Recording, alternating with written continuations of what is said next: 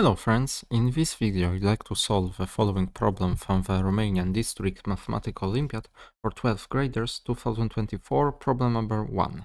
We wish to find all positive integers m for which the equation x squared minus 3x plus 5 equals 0 has exactly one solution in the ring of integers zm. So not in integers, but we are solving this equation in the ring of integers zm. Exactly one solution. Here are my hints for this problem. First, consider case where m equals 1, trivial case. Now, consider separately cases when m is even or odd. If m is even, show that, well, then this should be the case and show that this has no solutions. Uh, if m is odd, then we can safely multiply our congruence, because notice that our equation can be written in terms of a congruence, we wish to find only one solution modulo m, and notice that we can safely multiply on both sides by 4, so since 4 is co-prime to m, and we can show, try to reduce our congruence to this congruence. Now, consider that 11 squared cannot divide m, and finally, by the Chinese remainder theorem, uh, our congruence has exactly one solution, modulo m of course, if and only if this congruence, modulo p to the power of alpha, has exactly one solution for any p to the power of alpha which divides exactly m, where p is a prime and of course alpha is a positive integer. So give this problem a try and I will see you in just a minute. Alright, so let's start.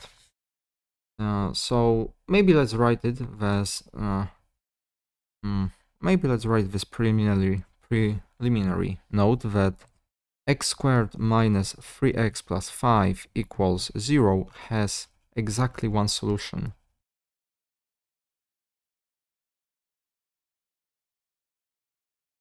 in Zm if and only if if and only if the congruence x squared minus 3x plus 5 congruent to 0 modulo m has exactly one solution. Exactly one solution modulo m. Pretty basic fact. And now I wish to consider first what happens if m equals 1 if m equals 1, then really we have this congruence. Uh, well, we have only one number. Z1 uh, has only one element, namely 0. And of course, 0 squared minus 3 times 0 plus 5 equals 0 in Z1 because everything is zero in this ring. Alright, now let's tackle the case when m is even. If m is even, then a fortiori we will have x squared minus 3x plus 5 should be congruent to 0 modulo 2. But notice the following. Notice that 0 squared minus 3 times 0 plus 5 is congruent to 1 and is not congruent to 0 modulo 2 and 1 squared minus 3 times 1 plus 5 is also congruent to 1 and not to 0 modulo 2. So we have no solutions.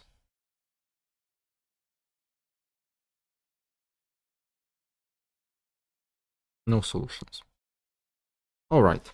So now, now, if m is odd, then the following are equivalent.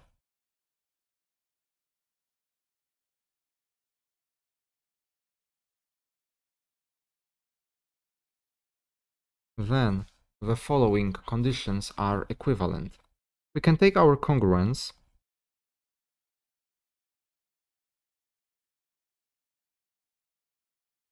we can take our congruence and now, since m is odd, we can safely multiply on both sides by 4.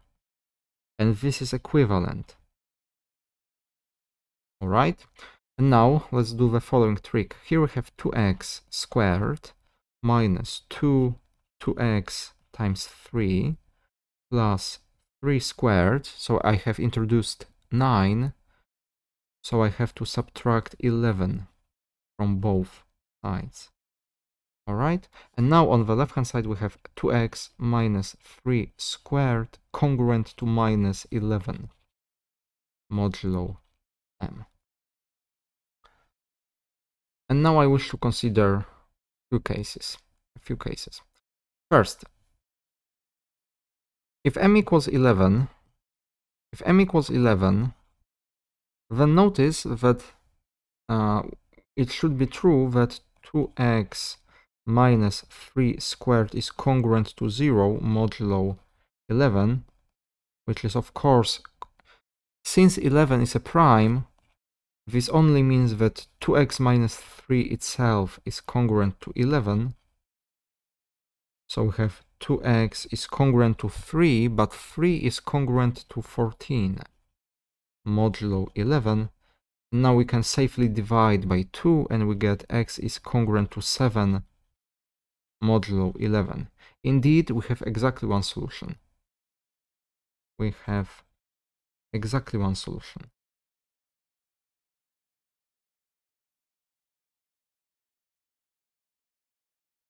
Alright, it's good news. Now, can 11 with any higher power divide our m? Notice that if 11 squared divides m, then, what then? Then it should be true, a fortiori once again, 2x minus 3 should be congruent to minus 11 modulo 11 squared. But notice that that means that mm, 11 or maybe, yes, this should be the case. So this means that 11 must divide 2x minus 3 squared. And since, since 11 is a prime, this in turn means that 11 must divide 2x minus 3. But this in turn means that 11 squared must divide 2x minus 3 squared. And now we have a problem, because since this divisibility is true, then this congruence really says that 0 is congruent to minus 11 modulo 11 squared, which is a contradiction. Contradiction. No solutions.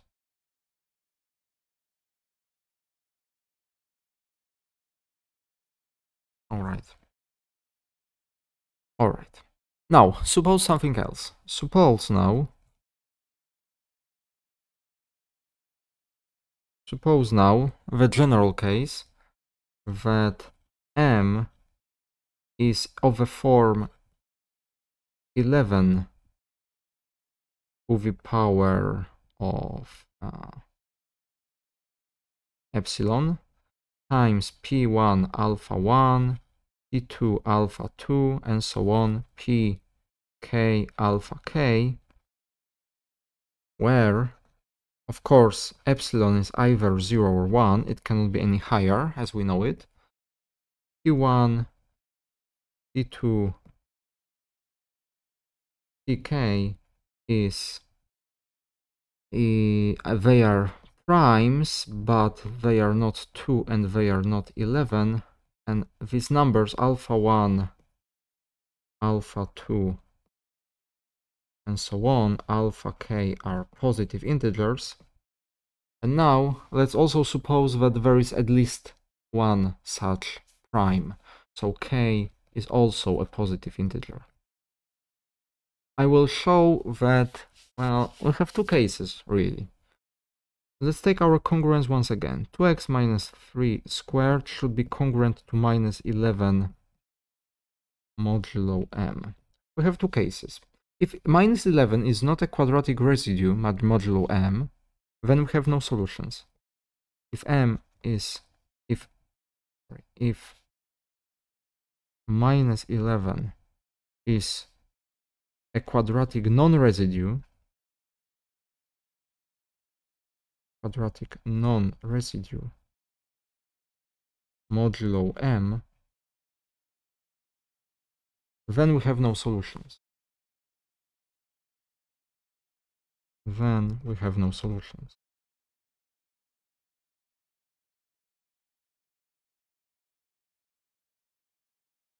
So now suppose, suppose now,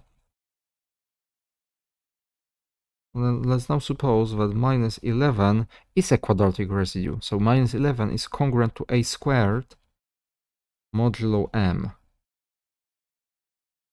where a is some element, some integer.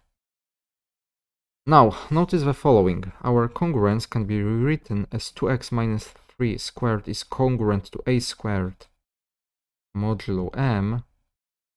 So after uh, putting everything on one side, we have 2x minus 3 minus a, 2x minus 3 plus a should be congruent to 0 modulo m. Now, it's time to use the Chinese remainder theorem. By the Chinese remainder theorem,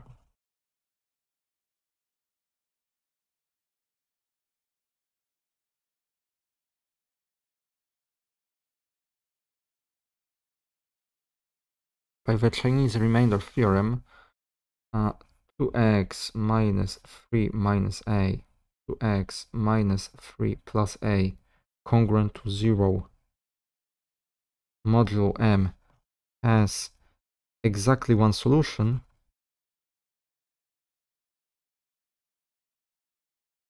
if and only if if and only if uh, the same congruence 2x minus 3 minus a 2x minus 3 plus a congruent to 0 modulo e j to the power alpha j has exactly one solution.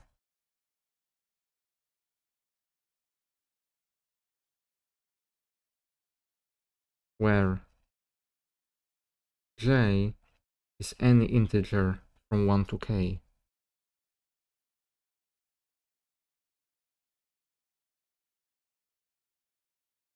Uh, you may ask, what about, what about um, 11 to the power epsilon, where 11 to the power epsilon was already considered, has been already considered.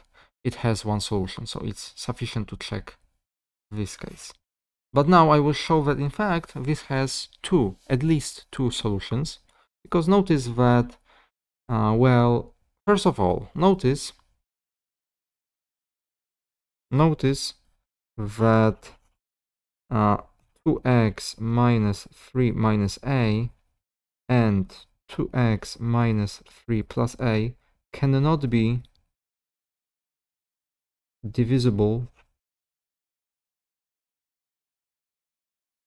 cannot be divisible by uh, by p j at the same time.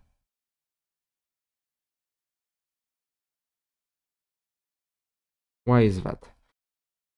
Proof of this claim is very simple because notice that if pj divides 2x minus 3 minus a and pj divides 2x minus 3 plus a, then that would mean that pj must divide the difference of these numbers, so it divides 2a.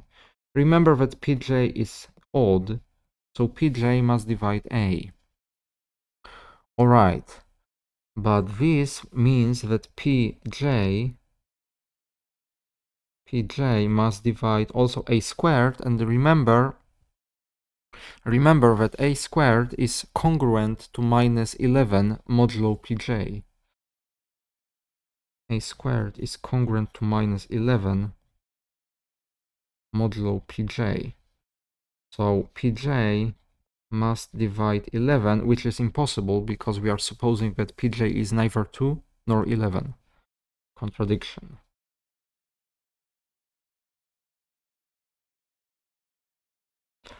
Notice now that, let's go back to this congruence right here. Let's copy it.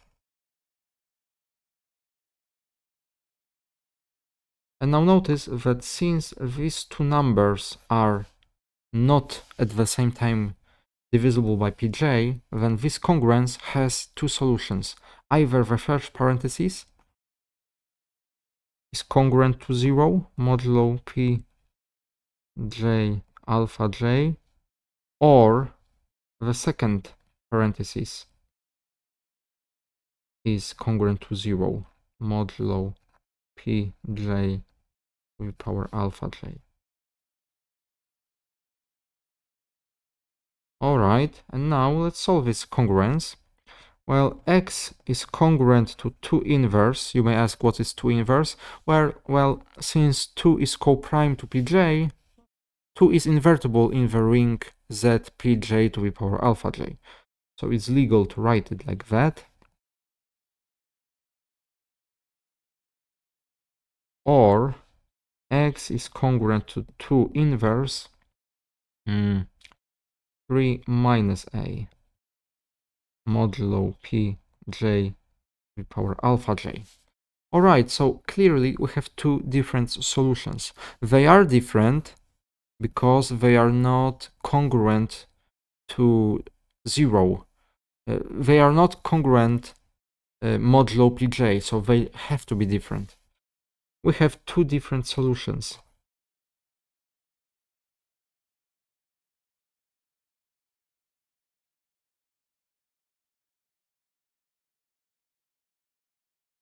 Modulo pj to the power alpha j, which means that our original congruence has also at least two solutions, not only one. So this also does not satisfy our conditions. So all in all, going back, let's analyze everything once again. m equals 1 was good. Uh, any even odd, any even m was not good. When m is odd, 11 was good. Well, if 11 squared divides m, no good right here. And if we have any other factor, prime factor, which is not 11, then we have two or more solutions. So all in all, we have only two solutions, 1 and 11. So let's write our answer and let's finish this problem. So x squared minus 3x plus 5 equals 0 has exactly one solution. Exactly one. One solution x in the ring Zm if and only if if and only if m is either 1 or 11. And this really closes our problem. Pretty nice problem. Rather standard, but yeah, rather nice, I'd say.